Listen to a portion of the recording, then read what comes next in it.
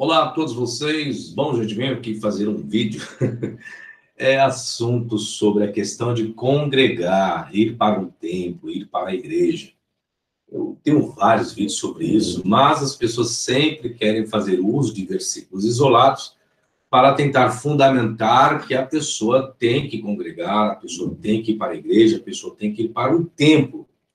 Porém, as mesmas pessoas que fazem uso de versículos isolados, os mesmos não explicam. E aí complica, né, gente? Mas vamos lá. O versículo, vou compartilhar minha tela aqui, um versículo que as pessoas fazem muito uso, e é o texto que eu vou utilizar, para poder explicar essa questão. Vou compartilhar meu esboço aqui. É, primeira questão que eu vou colocar, senhores, é qual o tempo que os apóstolos frequentaram após Jesus? Lucas 24, 52 e 53. E adorando eles, tornaram com grande júbilo para Jerusalém, e estavam sempre no templo, louvando e bendizendo a Deus. Amém. Qual o templo que eles estavam? Templo judaico, não é templo cristão, tá? Então, se não sabe, complica. Vou passar aqui.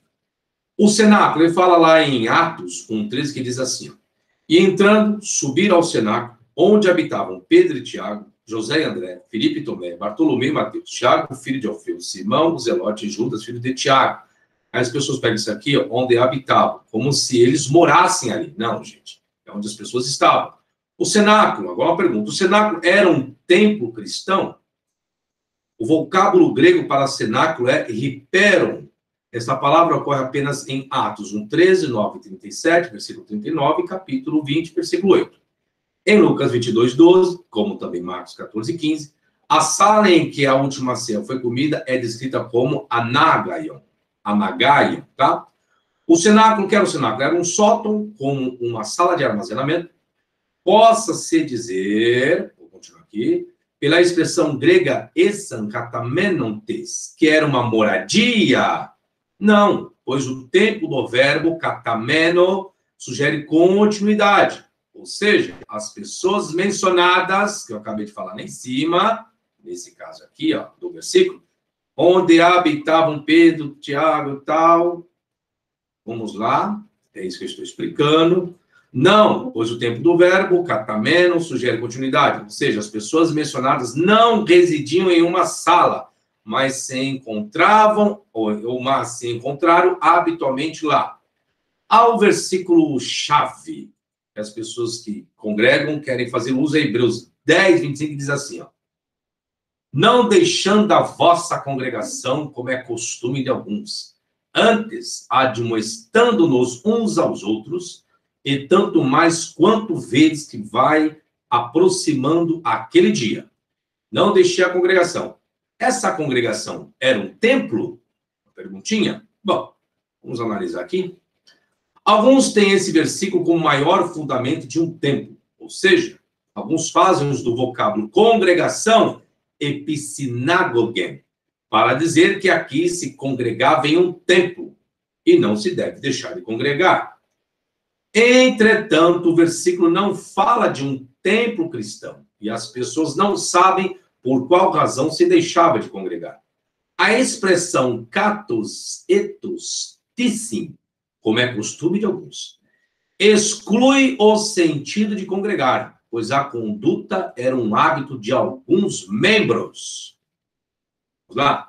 O apelo no versículo 24, e considerando-nos, considerando, consideremos-nos uns aos outros, para nos estimularmos a caridade e as boas obras. É completamente é complementado por duas frases participiais no tempo presente do versículo 25. Ou seja, como eu posso colocar, não interrompendo nossa reunião, mas sim encorajando-se. Essas frases contrastantes indicam a importância da reunião regular na Assembleia Local para adoração e comunhão o contraste serve para definir o caráter específico do termo episinagoge, reunir-se. Essa reunião era para encorajamento e exortação mútua. O tempo presente dos particípios expressa a responsabilidade comum entre todos os presentes na reunião. A referência a costume ou hábito, vocábulo ethos, implica uma situação de indiferença e apatia, o que é consistente com outras indicações ao longo do contexto, tá? Então, as pessoas querem fazer uso desse versículo aqui, só que as pessoas não sabem, tá? Aqui não tem nada a ver de congregar, como muitos querem colocar. E outra, não fala de um templo cristão. Deixa eu parar de compartilhar minha tela aqui, em poder esboçar com os senhores, tá?